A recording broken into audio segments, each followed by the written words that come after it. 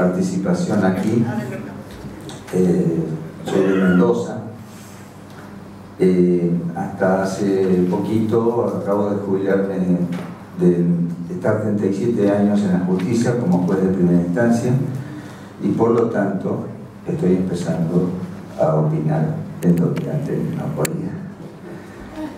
Y por eso es que no me han visto antes. Los jueces eh, nos jubilamos en realidad como debería ser en todas las actividades a la misma edad, varones y mujeres a los 60.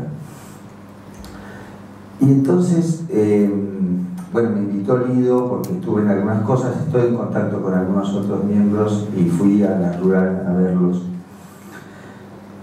Eh, hace mucho tiempo que sigo a carta abierta y yo tengo una propuesta concreta, aunque pueda haber mejores, pero lo importante es la orientación de lo que quiero plantear. Eh, yo sé que están en esta etapa de plantearse y que alguien ha pensado, ¿qué hacemos? ¿Seguimos o no seguimos? Yo creo que eso no es una opción. Darwin, que no era cualquiera, decía, eh, los organismos que subsisten no son los más inteligentes y no son tampoco los más fuertes. Subsisten aquellos que saben adaptarse a las circunstancias.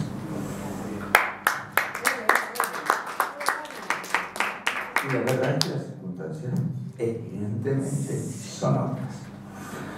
Entonces anoche, esta invitación que me han hecho, que me honra, eh, yo estuve pensando cómo adaptar esto.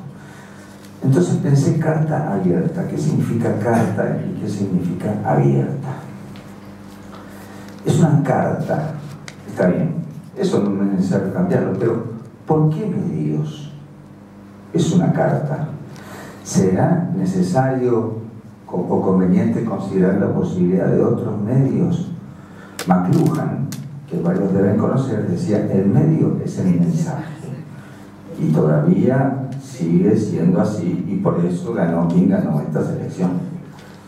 Entonces, eh, hay que prestar mucha atención a qué medios se usan.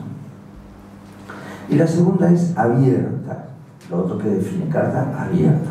Y ahí para mí está el gran punto, en esto coincido con Osvaldo que habló antes. ¿Abierta a quiénes? Porque la realidad es que, digamos, de clase media, eh, culturalmente, clase media hacia abajo, nadie conoce carta abierta. Cuando recién se decía acá, eh, sería bueno que hubiera acá alguien morocho. Bueno, yo personalmente eh, estoy muy convencido, no es para darme aire, pero la realidad he viajado, muchísimo, conozco 36 países y realmente, como decía Unamuno, el racismo es, una enfermedad que se cura viajando. Y, entonces creo que uno puede tratar de ver cómo, cómo nos estamos, y digo no, porque ya, bueno, esta invitación ya desde antes me sentía un poco miembro de ustedes, sin poder expresar. Entonces, em, ¿cómo nos estamos relacionando? ¿Esa carta implica un diálogo? ¿O queremos ser la vanguardia del proletariado, aquella de Lenin, con una cadena de transmisión? No hace falta ser marxista o no, o leninista o no, para ver que esa vanguardia se transformó en una élite y que perdió la transmisión con el proletariado en algunos momentos.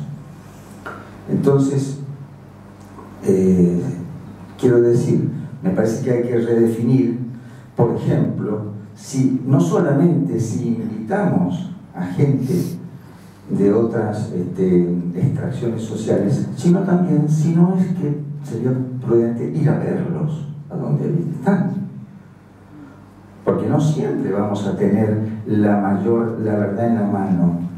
Recuerdo una película este, brasileña donde este, un sacerdote que defendía, no, han sido muchos los sacerdotes que han defendido indígenas, pero existieron. Este, les aclaro que no soy católico ni tengo ninguna religión. Pero eh, este sacerdote defendía a los indígenas y decía cuánto podríamos aprender de ellos si no es que viniéramos aquí a enseñarles. Entonces yo personalmente acá vivo medio de Mendoza y medio acá, ahora que estoy jubilado, y estoy en un voluntariado en la Villa 31, ¿no? donde hago, junto con otras personas de una ONG, ayuda eh, escolar para mayores de edad que están haciendo el secundario. Y allí me he encontrado con varios que han votado por Macri y todavía creen que las penalidades que están pasando no son culpa de él. Bien, entonces digo, no solo es invitarlos, sino doy un pasito más yo, y propongo algo que, bueno, si, esto ha sucedido antes, de quedar algunas propuestas en el aire, yo propongo que se resuelva. Si, si se cambian los medios, si se hacen visitas, si se hace otra cosa.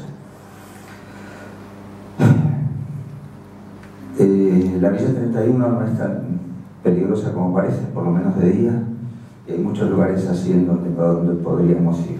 Entonces yo lo que propongo es que, y sobre todo, no solamente para tener más éxito, porque sin cambiar el discurso, porque ojo, no es ir a ver tratando de cambiar el discurso, no, es realmente escucharlos. Si, si no se hace esto o algo similar, no hace falta tomar la decisión de subsistir o no, porque no va a subsistir. Va a subsistir si se cambia un poco esto. Gracias.